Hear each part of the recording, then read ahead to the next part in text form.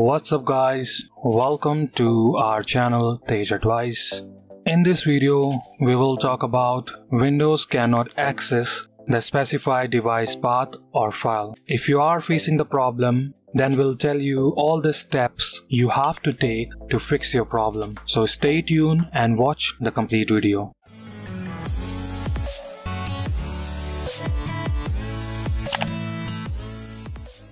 Before going further, if you are new to this channel, then click on subscribe button and on the bell notification, select all and if you like the video, then give a thumbs up and let us know in the comment section which step fixed your problem. The first thing you need to understand, you have to be on your admin account.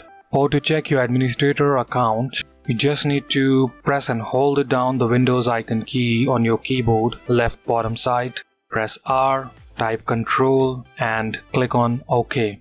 Here as you can see users account, click on user account.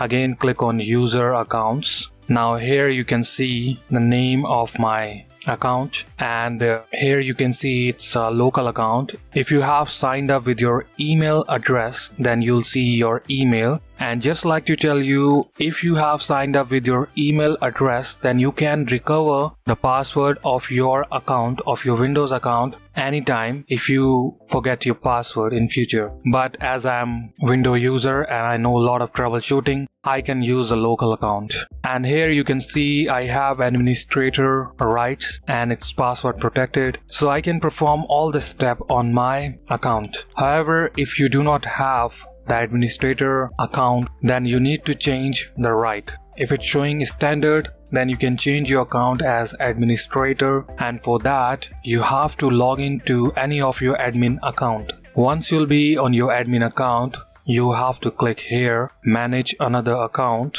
and then select your account from here once you'll select the account you come up onto this window you have to click on change the account type. From here you can change your standard account to administrator account. Once you select administrator, click on change account type and that's all you have to do. Step 2. The step 2 is all about check the error message. First you need to understand you're getting a permission message or your user account is denied from the permission for system. If it's a problem or permission from system, then you have to allow the full control. We'll tell you on the next step. And if it's a ownership problem, then follow the step 4. There are the other reasons too. We'll explain you that as well. Now the step 3, allow full control for the specified path or file. Do a right click on this file. If you have an application or folder, just need to do a right click. You'll get the property window. Click on properties. Once you'll be in the properties as you can see all the things here the five tabs click on security. If you are getting your account here then you can see that you have the full control or not. And for to change the control you have to click on edit.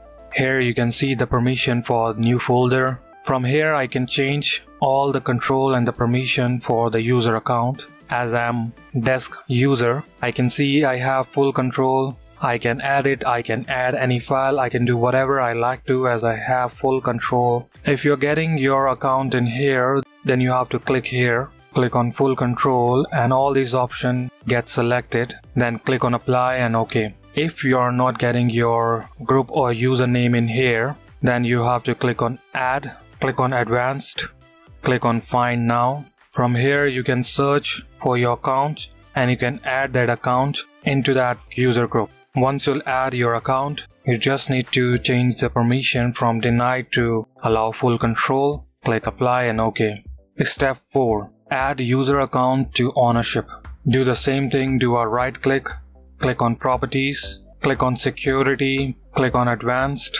Now you can see I'm the owner of this folder. If you're not getting any name up here, then you have to click here, change, do the same thing, click on advanced, Click on find now and add your account. Then click on apply and OK. Again click on advanced. In the permission tab, you'll see a thing like you must have read permission to view the property of this object. You have to click on continue button. Let me show you on my web page how it look like.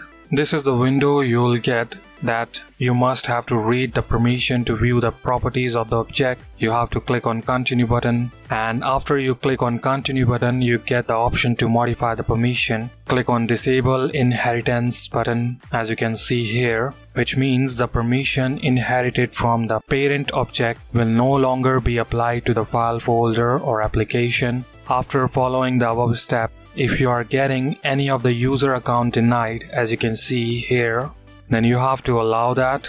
Click on the deny user account. You have to click here. You have to do a double click on the user. Click on as you can see on the picture you have to click on this type option.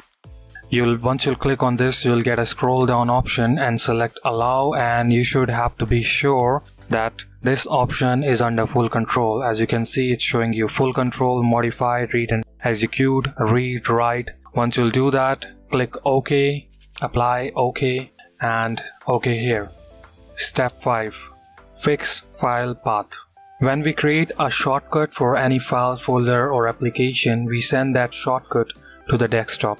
As we have a shortcut of Google Chrome here, sometime by mistake, one of the user of a computer uninstall the software, remove the file location or unplug the removable drives like pen drive. It's like if you have connected any pen drive and you can see the pen drive here. Once you'll click on this PC, you'll see your pen drive comes up here. If that's removed and you have created the shortcut of that pen drive to open the files, then it will show you an error that you cannot open that file. To fix the problem, you have to make sure that the removable device like pen drive has to connect back to your PC or the shortcut you created of the file folder or application has to be in the same place. It's also applied if you have moved the file from one path to another like from C drive to D drive or one folder to another. Step 6. Create a new shortcut. When our file folder or application does not comes up with the shortcut we have created, then we should have to recreate the shortcut.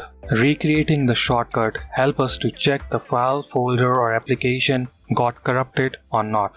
I hope you know about how you can create a new shortcut as this the shortcut of Google Chrome on my desktop screen. If I click on this Google Chrome, I can open the file path location. If I'll do a right click, then I can click on send to, then I can select desktop. Then you can see here, you can see the shortcut here. That's how you have to create a shortcut on your PC. Right now I'm deleting this shortcut as I already have one shortcut. Step 7. Remove the block from Windows Security. It has been observed that Windows Defender, or we can say Windows Security, blocks the file, folder, or application to protect your computer. It happens when a new file or application or folder added to your computer from another computer or added with the use of pen drive.